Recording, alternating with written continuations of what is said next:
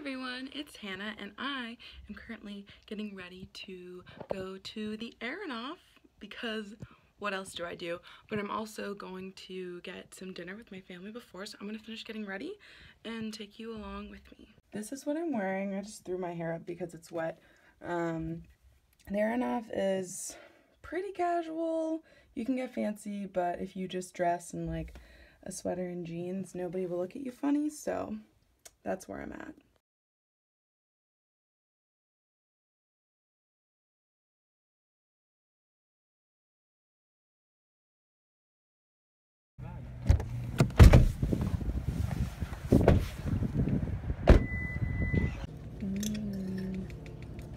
Here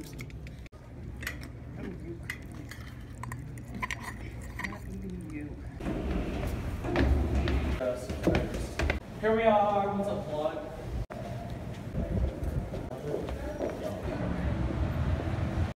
This is it. It's jackpot. This is what we're seeing.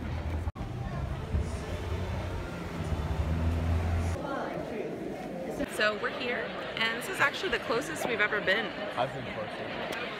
Well, this is the closest I've ever been, so Um, well, I'm better. Sincere.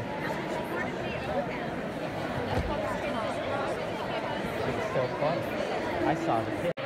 Ben and I really love School of Rock, School of Rock. the movie, so we're very excited to be seeing it Should be great. Maybe. It'll be great. we out here. We got eight more scenes. What do you think of it so far? It's Pretty good. It's pretty good. Yeah. It's a little different than the movie, Yeah. but still really good. Weird, And the music is cool. The music's pretty good.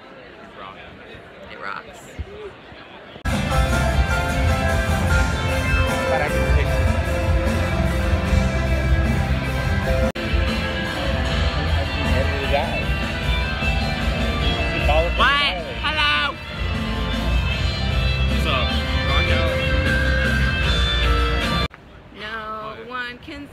stop.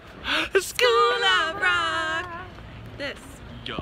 Alright, so I'm back home, just got back from the show, and I decided I would actually show you all of my playbills because I've seen quite a few shows in Ohio and one in Kentucky actually. So here are my playbills.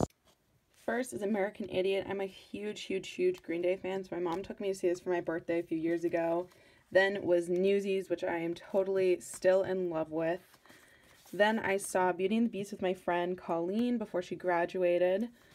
Then we actually saw this one in Columbus, um, Wicked, which obviously classic. The rest of these I saw at the Aronoff, but this one I saw in Columbus with my mom.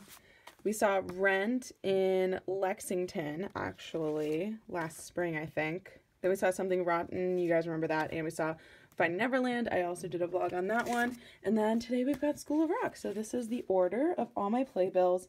These two aren't technically playbills, but same difference. These are all my programs from all the shows I've seen. And that doesn't include the time that I saw Phantom of the Opera because that was in London, so that's different.